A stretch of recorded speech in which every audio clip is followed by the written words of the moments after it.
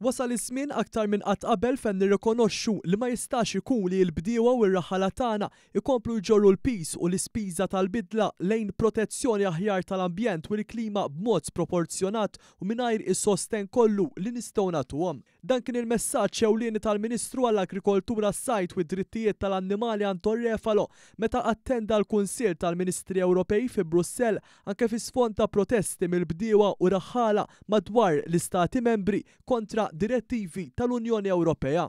Irridu nifhmu li l-bdiewa u r-raħħala tagħna għandhom rwol strateġiku kemm dwar is-sikurtà tal-ikel kif ukoll dwar il-produzzjoni tal-ambjent.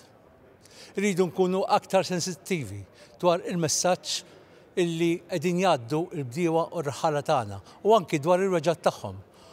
u hemm bżonn illi nagħmlu politika Ewropeja illi verament tkun taqbel għalihom. Il-Ministru żied jgħid li l-protesti li għaddejjin bħalissa huma sinjal li jeżisti distakk bell ambizzjonijiet politiċi tal-istituzzjonijiet Ewropej u r-realtajiet li l-bdiewa u r-raħħala jgħixu ta' kuljum kif ukoll il-kontribuzzjonijiet li l-agrikoltura mistennija li tagħmel għall-aġenda ta' dekarbonizzazzjoni u kompetittività tal-Ewropa.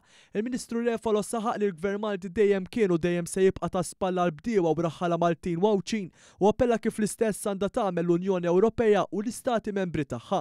Sostna kif din l-għajnuna nkeraha b'għajnejh il-Kummissarju Ewropej għall-Agrikoltura fi żjara li għamel f'Malta u kkonfermawha l-bdiewa u raħħala Maltin infushom. Fi Brussell f'isem Malta huwa elenka numru ta' soluzzjonijiet fosthom li jinstab mezz ta' kif jista' jiġi implimentat il-Pjan Strateġiku b'aktar flessibilità, b'aċċess aħjar għall-fondi Ewropej u jitnaqqsu l-burokrazija u l-piż amministrattivi żejda marbutin ma' rappurtaġġ dwar l-obbligi fuq il-bdiewa.